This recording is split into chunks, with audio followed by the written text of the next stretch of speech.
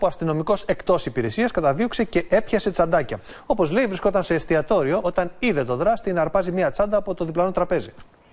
Εγώ καθόμουν εκεί, στο τραπέζι. Η κυρία καθόταν με την παρέα της εδώ. Ο δράστης πέρασε, της αφαίρεσε την τσάντα και όταν έφτασε στο διπλανό μαγαζί, τότε η κυρία φώναξε βοήθεια κλέφτης μου πήρε την τσάντα. Για τον Γιώργο Τέκνη, αστυνομικό της ομάδας Ζ, το τελευταίο ρεπό του δεν ήταν από τα συνηθισμένα. Έτρωγε αμέριμνος με την παρέα του όταν ξαφνικά έγινε κλοπή μπροστά στα μάτια του. Όταν ο έμπειρος αστυνομικός της ομάδας Ζ είδε τον δράστη να αρπάζει την τσάντα, δεν το σκέφτηκε ούτε στιγμή. Σηκώθηκε και άρχισε να τον καταδιώκει. Ήμουν εκτός υπηρεσίας, μόλις τον είδα, έτρεξα αμέσως να τον πιάσω. Άρχισε να τρέχει, ξεκίνησε πεζή καταδίωξη. 18 χρόνια στο σώμα, ο 37χρονο άοπλος με πολιτικά άρχισε να καταδιώκει τον Αλγερινή καταγωγής κακοποιό.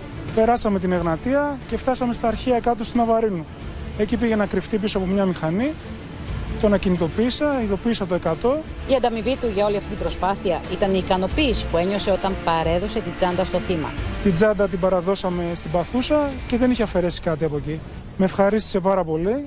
Οι σκηνές που έχει ζήσει όλα αυτά τα χρόνια, πολλές. Όπως όμως λέει, κάποιες τον έκαναν να λυγίσει. Επειδή και εμείς ζούμε μέσα σε αυτή την κοινωνία, υπάρχει και ο ανθρώπινος παράγοντας. Μια φωτιά, μια περίπτωση πυρκαγιάς σε ένα σπίτι. Βγάλαμε μια γυναίκα η οποία είχε σπάσει και το πόδι της. Σώσαμε και το εγγονάκι της και μαζεύτηκε όλη η οικογένεια εκεί να μας ευχαριστήσει. Μόλις τελείωσε το συμβάν, τότε σπάσαμε λίγο. Με δίκυκλο ή χωρίς, με όπλο ή άοπλος, με στολή ή πολιτικά, ο 37χρονο άντρα, όπως λέει, έπραξε το καθήκον του. Να υπερασπίζεται δηλαδή όλους τους συνανθρώπου του όταν το έχουν ανάγκη.